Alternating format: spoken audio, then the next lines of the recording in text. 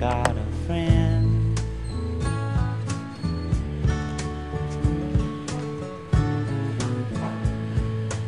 Hi. Ako si Ramon Bautista. At ako si Joey Sabayton. And welcome to the first episode of Tales from the Friend Zone. Entitled Kaaibigan lang pala. Ang kwento natin ngayon ay tungkol sa isang gwapitong scholar na si Julio Augusto. Minsan kasi sa ating pagkaatat umiinig, nalilimutan na natin mag-isip realistically. Ang kwentong ito ay tungkol sa tamang pag-assess ng sitwasyon. Kung itutuloy mo ba ang landi o itulog mo na lang yan. Dear Papi Ramon and Joey Sabayton, may love problem ako. May gusto akong isang babae na itago natin sa pangalang April, May, Hunyo. Pero dahil ang buwan ng Abril at Mayo ay summer, tawagin na lang natin siyang Sam. Matagal ko na siyang kaibigan at gusto. Pero recently ko lang siyang sinimulang kausapin. I mean, landiin. Naku, Ito'y dahil kaka-break lang nila ng boyfriend niya of 3 years. And I thought, this is my chance to strike. So, ayun. So, kahit nilalandi ko na siya for a time, minsan kasi hindi ako sure kung open na ba siya for another relationship. Kaya minsan parang awkward. Tuwing may break, tumatabay ako kasama ang barkada niya. At dito, tinatry ko siyang landiin.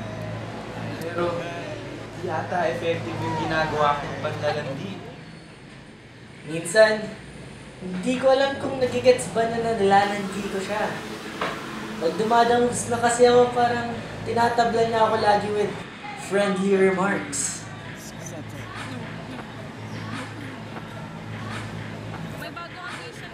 Na. Last week, I had an opportunity kasi mag-isa lang siyang naglalakad. So, I walked with her and ito ang nangyari.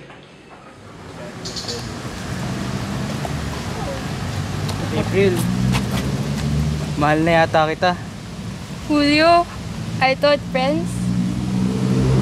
Fuck!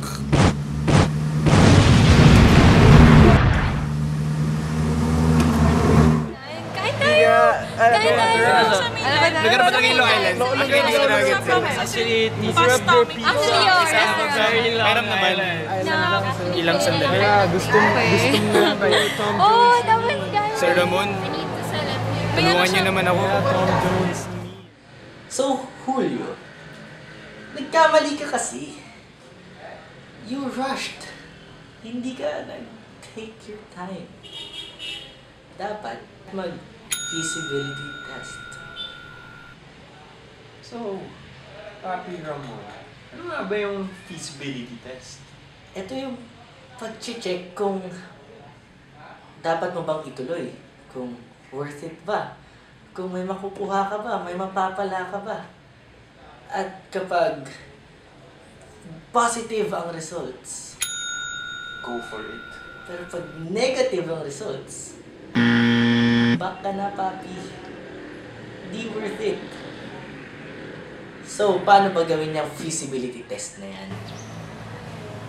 Unang gagawin is yung i-test mo yung waters. Saktong landi lang.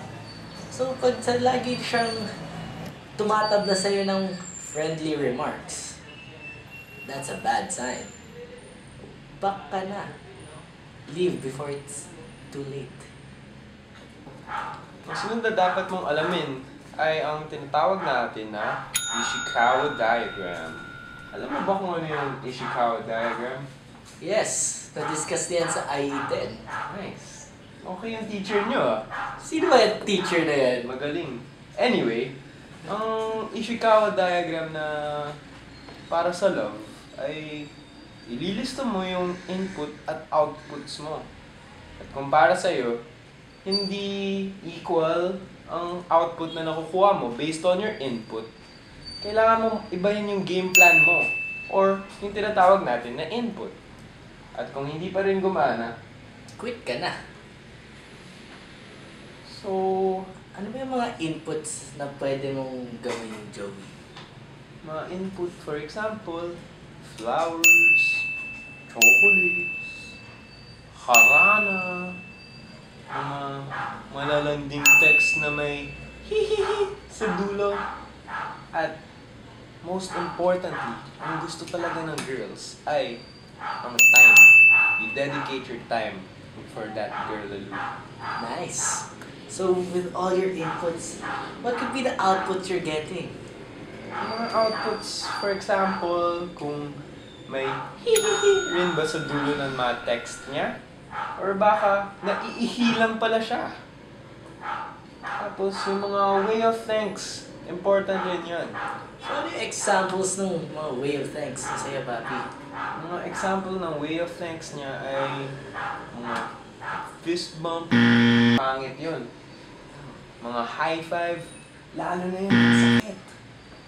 Ano yung mga kiss sabay hug? Yun, okay na okay yun. Okay Kahit na ako, gusto ko yun. Yun. Eh, papi, paano yung mga friendly hugs? Considered ba yun na good or bad? Mga friendly hug, it's definitely a good start. Because yung mga friendly hugs na yan, it's the root of all the good things. Diyan nagsisimula ang lahat. Exactly.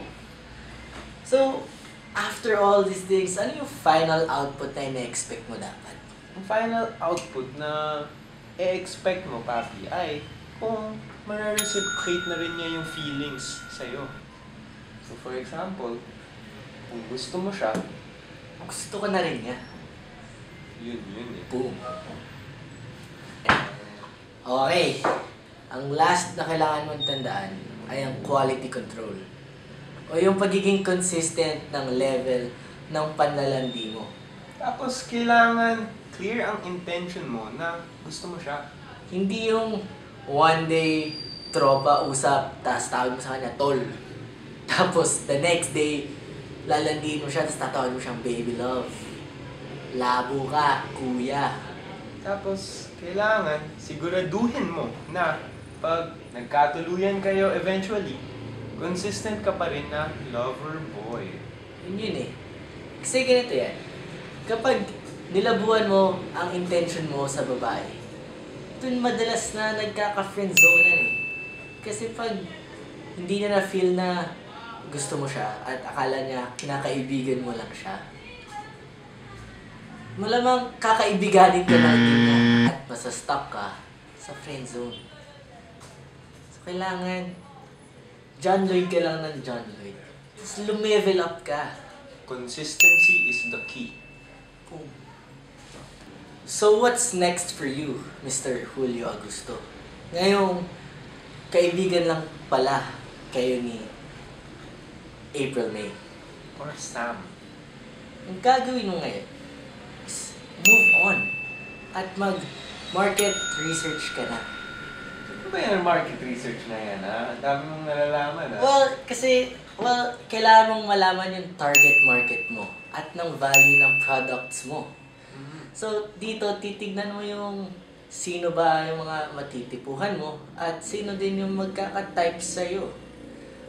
Ako. Ako rin. Ako. So, ang key lang dito is kung hindi ka yummy, huwag kang choosy. Kasi pag, kunyari, kamukha mo si Joey, tapos tumarget ka ng mga Solin Yusuf, Hi, tagilid ka, papi. Kaya dapat realistic ka lagi. Alam naman namin all is fair in love and war.